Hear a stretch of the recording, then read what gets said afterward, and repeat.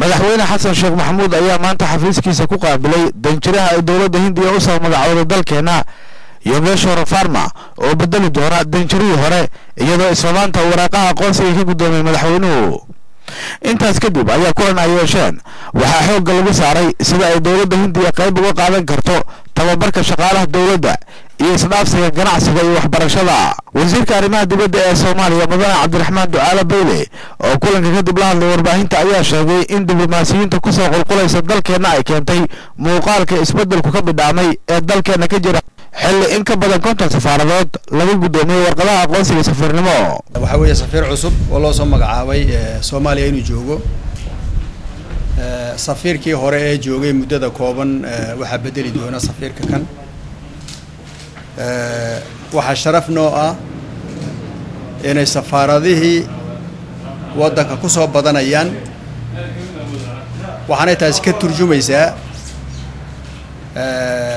socodkaan ku soconno ee xawliga ah ee dib u hanashada waddankeenna waddankii soomaaliya.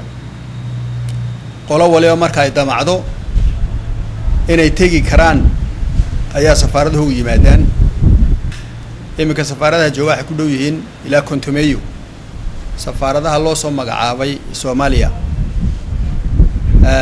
Waxaa sii badanaya oo kale kuwa halkan muqdisho dhexdeeda imanaya ayaa sii badanaya. Aad iyo aad baan markaa ugu faraxsannahay in yar haddaan ka soo qaado dalka indiya waxaa wada xasuusan tihiin wada garanaysaan. Labaatankii sannadoe u dambeysay mooyaane intii ka horreysay in cilaaqaad aad iyo aad i weyn naga dhexeeya waddankaas inay dad badan oo soomaaliyeed wax ku soo barteen oo madaxweyneynu ka mid yahay. Labaatankaas sannadood iyo dhowr iyo labaatankaas sannadood ee dhibaatada waddankan haysatay. Haddana weli dad soomaaliyeed oo taga baa jiri jiray oo weli jooga oo iskuul oo iskuulla ka barta. Xaqiiqadu waxay tahay baayac mushtarigeena inuu sii adkaanayo indiya iyo iyo soomaalida indiya waxayna inoo dhexeeya waa indian oceanka weeye indian oceanka marka waxaan leenahay cilaaqaad toosa. Yaa taariikhdu tilmaamaysaa. Beryo hore inan inayna sidaa ay ahayd. Iminkana tii inay soo noqotaan doonaynaa yongeshwar farma oo ah danjiraha cusub ee hindiya u soo magacooday dalkeenna ayaa isaguna sheegay in xilli hore uu soo bilowday xiriirka labada dal oo dhinacyo badan horay u wadaagi jiray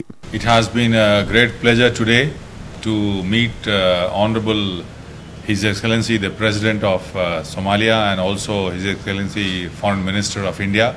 Waxay ii tahay farxad aad u wanaagsan inaan la kulmo madaxweynaha jamhuuriyadda federaalka soomaaliya.